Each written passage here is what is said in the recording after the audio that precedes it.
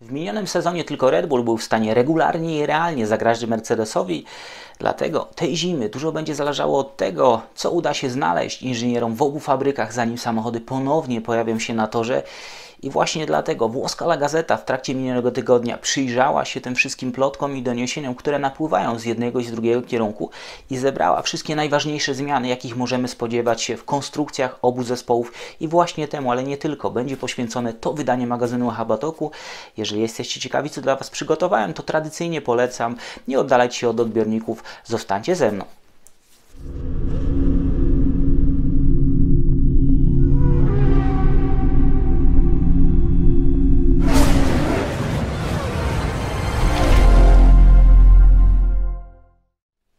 Środa, 6 stycznia, Daniel Biały, Echa Padoku. Dzisiejsze wydanie zaczynam od niezbyt dobrych wiadomości dla Lando Norrisa, bo ten po utracie węchu i smaku zrobił sobie test i okazało się, że jest kolejnym z grupy pozytywnych e, kierowców. E, Lando Norris czuje się dobrze, Lando Norris przebywa w Dubaju, tam udał się na wakacje, tam miał rozpocząć również taki obóz przygotowania do sezonu. Teraz ten jego grafik trochę się wywróci, dlatego że Lando jest zmuszony do odbycia 14-dniowej izolacji, no a potem będzie mógł wrócić do rywalizacji. Szczęście w nieszczęściu, że dzieje się to właśnie teraz, bo gdyby to wydarzyło się kilka tygodni temu, to świat pewnie zapłonąłby ponownie od spekulacji, co dalej, kto go zastąpi. W tym okresie żadnej szkody z punktu widzenia rywalizacji nie ma, natomiast można się zastanawiać, jak choroba wpłynie dla Lando Norrisa. Bardzo ciężko przeszedł ten epizod, stracił aż 6 kg, o czym pisał w mediach społecznościowych. Dla Lando powinno być lepiej, bo Lando twierdzi, że oprócz utraty smaku i węchu nic wielkiego się nie dzieje. Lando życzymy dużo zdrowia. Dobra informacja dla Lando jest też taka, że ten okres do rozpoczęcia sezonu może być nieco dłuższy, o czym Wam już mówiłem. Australia prawdopodobnie wystartuje sezon, rozpocznie się w Bahrajnie i to właśnie Również z tego powodu zimowe testy mogą odbywać się w Bahrajnie. Mówi się o tym, że mogłyby one ruszyć w połowie marca. Mówi się o datach 12-15 marca. Wcześniej w tym samym miejscu mają być testy Formuły 2 i gdyby tak to zostało poukładane, to tutaj te koszty związane z logistyką udałoby się utrzymać na bardzo niskim poziomie.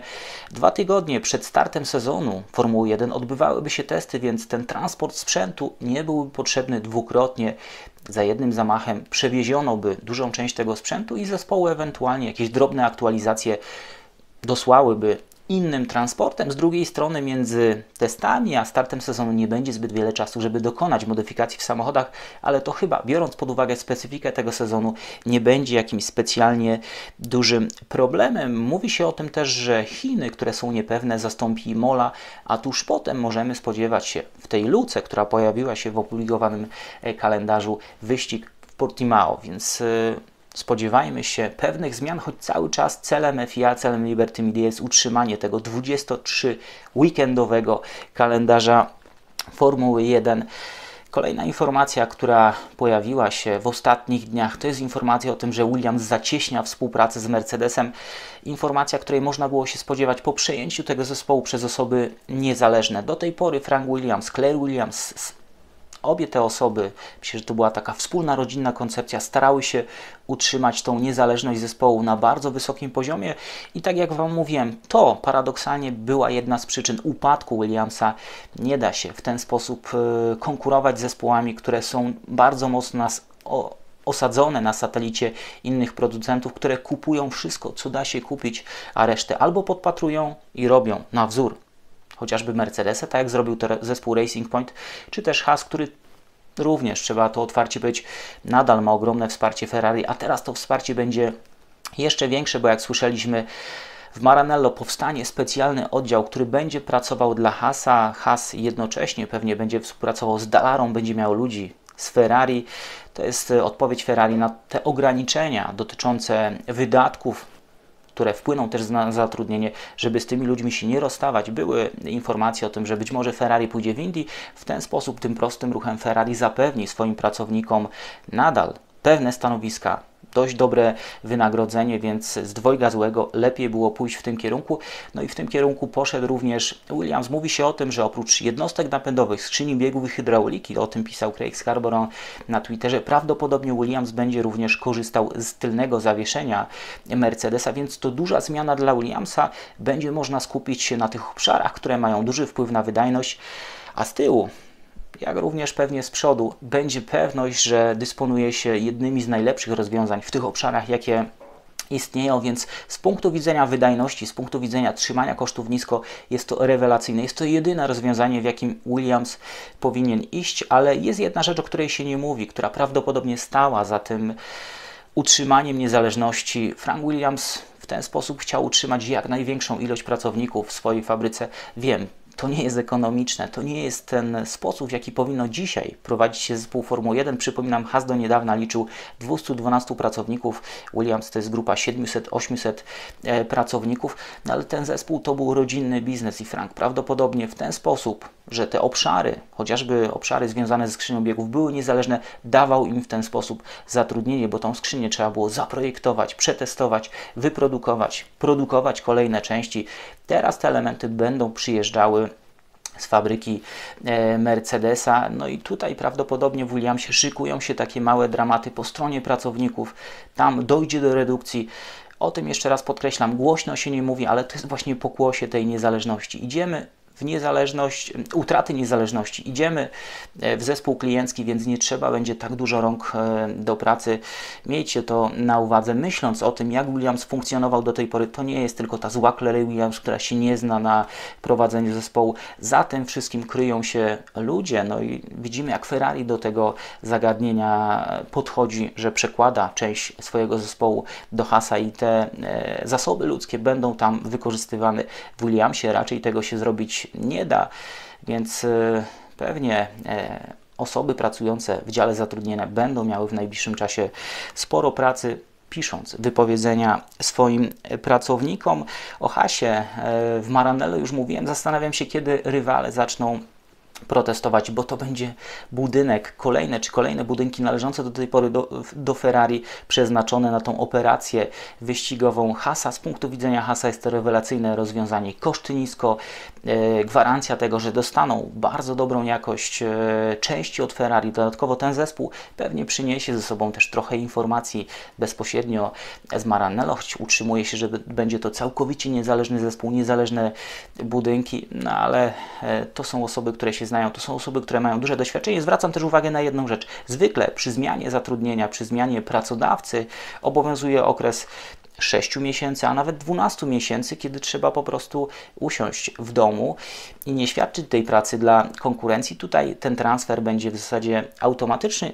Czekam na moment, kiedy odezwą się rywale i powiedzą, że Ferrari kolejny raz przekracza pewne granice. A teraz e, trochę informacji z włoskiej La Gazety włoska gazeta w ostatnim tygodniu poświęciła dużo uwagi zarówno Mercedesowi, jak i Red Bullowi, a konkretnie tym konstrukcjom, które są szykowane na kolejny rok. Oczywiście mówiąc Wam o tych informacjach, musicie brać z odrobiną e, dystansu, bo nie wszystkie informacje włoskiej prasy się potwierdzają, ale często jest tak, że duża część tych informacji znajduje prędzej czy później potwierdzenie w tym, co zobaczymy. Na to, że ja również skonfrontowałem to, co pisze włoska La Gazeta z tym, co mówi się w innych mediach, e, w tym, e, co pojawiło się w wywiadzie z Jamesem Allisonem i są tam pewne części wspólne, również Service The Race poświęcił trochę uwagi w ostatnim czasie Red Bullowi, problemom projektowym, z, jakim Red Bull się, e, z jakimi Red Bull się borykał w ostatnim sezonie i to wszystko wydaje się dość spójne i zaczynam od e, W12, bo tak będzie nazywała się przyszłoroczna konstrukcja e, Mercedesa. Mówię o tym nie przypadkiem, bo przyszłoroczny czy tegoroczny Red Bull będzie nazywał się RB16B, więc tutaj też zespoły różnie podchodzą do tego. Red Bull nie chce zużywać tej kolejnej liczby z szeregu, bo to będzie kontynuacja e, zeszłorocznych prac. Mercedes z kolei używa tej nomenklatury z kolejnym numerem, czyli będzie W12. No tutaj przede wszystkim będzie walka o ten utracony docisk, e, o tym pisze La Gazeta, związany ze zmianą geometrii podłogi, e, a ten docisk ma zostać odzyskany na tylnej części, w tylnej części samochodu, szczególnie poprawiając wydajność samego dyfuzora, więc tu możemy spodziewać się pewnych zmian w obszarze pokrywy silnika z tyłu samochodu. To wszystko będzie też związane z modyfikacjami układy chłodzenia już w trakcie końcówki tego sezonu mówiło się, że te ostatnie trzy weekendy wyścigowe Mercedes mocno eksperymentował z układami chłodzenia w jednym i w drugim samochodzie. No, tutaj były pewne problemy związane z chłodzeniem. Mercedes musi je rozwiązać, szczególnie problemy związane z chłodzeniem, układy odzyskiwania energii e, kinetycznej. Nowe paliwa to duże wyzwania dla producentów jednostek. Tam pojawią się te komponenty ekologiczne i to też nie pozostanie bez wpływu na kaloryczność e, tego paliwa. I tutaj wszyscy producenci będą szukali rozwiązań, żeby utrzymać ten poziom wydajności jednostki na stałym poziomie, a w przypadku Mercedesa mówi się też, że zostanie wykonany pewien krok do przodu, uda się znaleźć coś ekstra, czy już udało znaleźć się coś ekstra? I to ekstra Mercedes może znaleźć, czy ma znaleźć w układzie elektrycznym. Ma inaczej wykorzystać tą energię, która do tej pory była zarezerwowana na ten tryb y, nazywany Party Mode Mercedes inaczej zbalansuje sobie wykorzystanie tej energii elektrycznej. To już działo się w trakcie minionego sezonu, ale ta zmiana związana z zablokowaniem Party Mode była dość nagła. To nie były prace, czy tą blokadę tego trybu nie poprzedziły żadne wielomiesięczne, wielotygodniowe prace nad tym, jak to inaczej poukładać. I myślę, że po tym sezonie Mercedes ma już pomysł na to, jak inaczej wykorzystać tą dodatkową moc, która kryje się w jednostce napędowej, kiedy nie można jej zużyć w trakcie kwalifikacji. Być może będzie można ją inaczej rozłożyć w trakcie wyścigu. No i ostatnia rzecz, której obawia się James Allison, tutaj wracam do tego wywiadu, którego udzielił James e, niemieckiemu automoton sportowi, czyli tych nowych opon Pirelli, które mają być twardsze, które mają być inne, jeżeli chodzi o charakterystykę. No i w tym obszarze możemy doczekać się w przypadku Mercedesa modyfikacji zarówno przedniego, jak i tylnego zawieszenia, po to właśnie, by e, samochód lepiej współpracował z tymi nowymi oponami, by nie było problemu ze znalezieniem tego optymalnego okna pracy.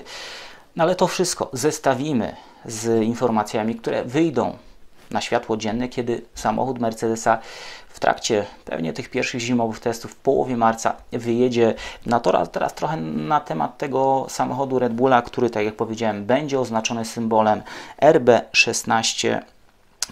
W przypadku Red Bulla głównym zadaniem specjalistów, głównie od aerodynamiki, będzie eliminacja tych błędów, które pojawiły się przed poprzednim sezonem, które zostały po prostu po, popełnione, o tym dużo pisze serwis The Race, ta koncepcja Red Bulla nie była trafiona. Te zmiany z przodu samochodu, zmiany w obszarze nosa, przedniego skrzydła spowodowały, że pojawiły się duże problemy z tyłu w obszarze e, dyfuzora i to właśnie dlatego kierowcy Red Bulla mieli tyle przygód. Tak często ta tylna oś po prostu uciekała, dochodziło do, do odklejenia się tego przepływu powietrza od dyfuzora. Dyfuzor przestawał pracować.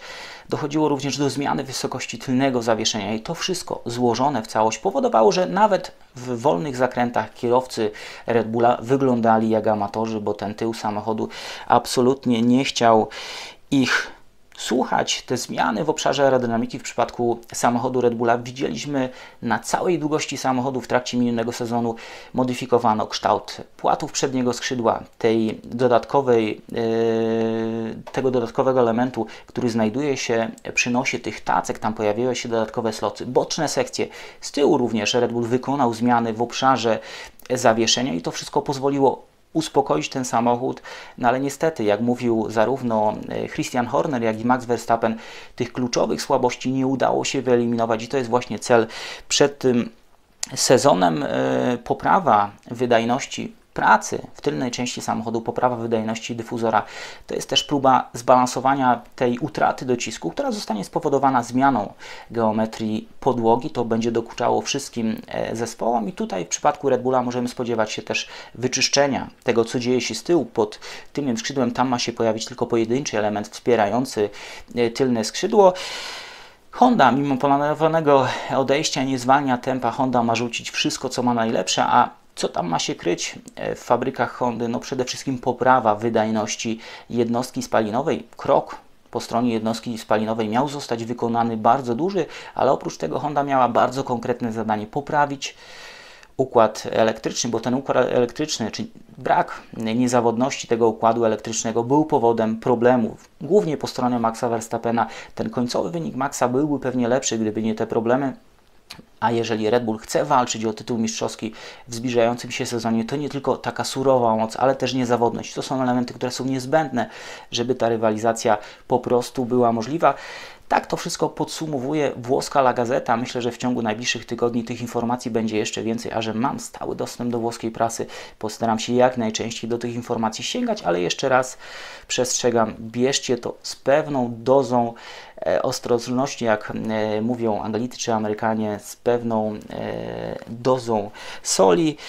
No a teraz słowo na temat tej małej rewolucji, jaka wydarzy się w Renault. Niedługo będziemy mieli już zespół Alpini. Według przecieków, które się dzisiaj pojawiły, 14 stycznia e, Luca De Meo odkryje karty na konferencji prasowej, powie, jak będzie wyglądał ten zespół, jak będzie funkcjonował, jakie zmiany zostaną, zostaną w nim wykonane, również po stronie zarządzania tym zespołem i te przetasowania to jest coś, o czym mówi się coraz głośniej. Już dzisiaj słyszeliśmy, że Marcin Budkowski dołączył do grona e, dyrektorów. Zmiana na pozór nie jest duża zmiana, na pozór jest kosmetyczna, ale mówi się też o tym, że dyrektorskie stanowisko w tej całej strukturze tego nowego zespołu wyścigowego ma objąć Syria Bitbur, więc już nie będzie tylko e, szefem zespołu, ale będzie patrzył na to wszystko z nieco wyższego fotela, a w kontekście roli szefa zespołu wymienia się Dawida Brivio, człowieka związanego do tej pory z MotoGP, z Suzuką, człowieka, który mm, stał za tymi dużymi sukcesami Suzuki w MotoGP, więc tej małej rewolucji możemy spodziewać się po stronie e, Renault, po stronie Alpine. I to też jest kolejny dowód na to, że te plany związane z powrotem do świetności Renault, a już pod inną nazwą, pod innym szyldem, są naprawdę bardzo poważne, ale jak będzie tutaj najlepszą weryfikacją dla tych wszystkich informacji, które Wam przekazuję, dla planów, które rozpisało sobie już na pewno bardzo dokładnie Renault, będzie po prostu wyścigowy tor stoper i to, jakie wyniki będą osiągały, osiągali kierowcy tego zespołu na torze. Tyle na dzisiaj. To wszystkie informacje, jakie dla Was przygotowałem. Tych informacji myślę, że nie będzie brakowało w kolejnych dniach. Nadal, mimo tej przerwy zimowej, dużo dzieje się w Formule 1. Jeszcze raz dla Lando wszystkiego dobrego, żeby jak najszybciej wrócił do pełni sprawności i mógł się przygotować do sezonu, bo to jest jeden z kierowców, który na pewno dostarczy nam wiele emocji na torze, ale też dużo uśmiechu. Tego uśmiechu Wam życzę jak najwięcej do kolejnego wydania magazynu Echa Padoku, które już wkrótce.